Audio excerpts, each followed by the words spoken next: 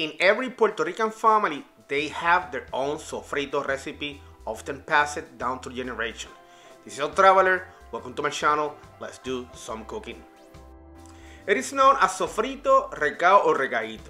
The word sofrito is the process of cooking this flavor base with tomatoes, whatever recaito is just the green cooking base.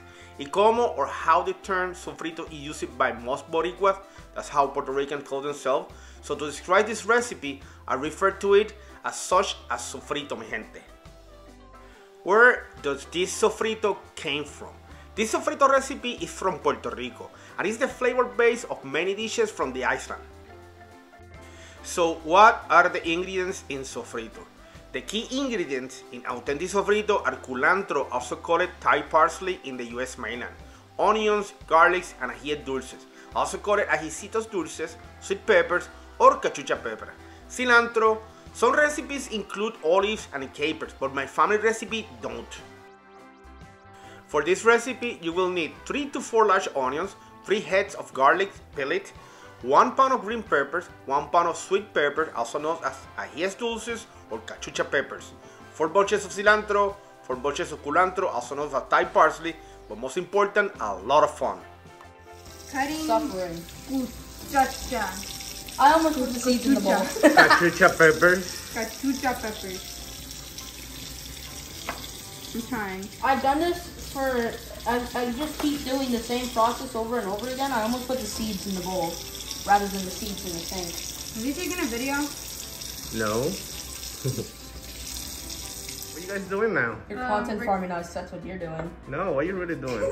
We're cutting garlic, the end of it, because it's sour and we don't want that.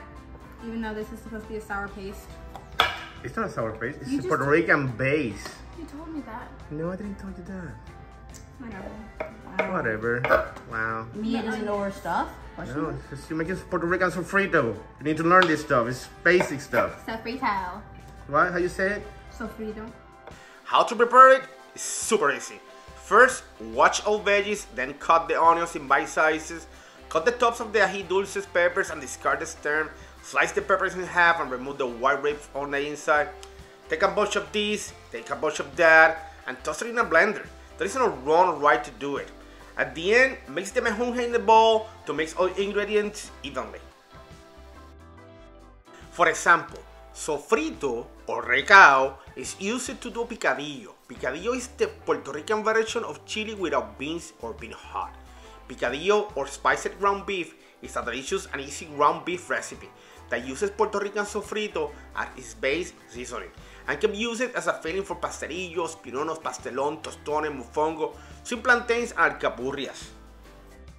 Also, sofrito is used as a base to do bacalao guisado or salted codfish stew, rabo encendido or oxtail stew, and lengua de vaca or cow tongue stew, my favorite. Its uses are unlimited. If you want to know how to do these Boricua dishes, check my other videos on how to. This is The Traveler, thanks for watching and buen provecho.